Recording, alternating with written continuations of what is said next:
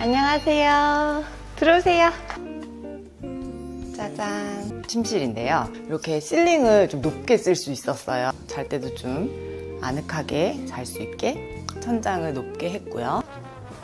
저희 무빈이 방입니다. 야구 이렇게 하고 있는 사진을 여기 stadium view로 해서 건우 방도 무빈이 방이랑 비슷한데 그때는 이제 건우가 너무 애기였었고 좀 프라이버시도 주면서 하기 위해서 이렇게 문을 이중으로 달았어요. 문을 안에서 잠궈버리면 어떻게 되겠어요? 약간 공주 방에 대한 로망이 있어서 그 조명도 걸리걸리하게 예쁜 걸로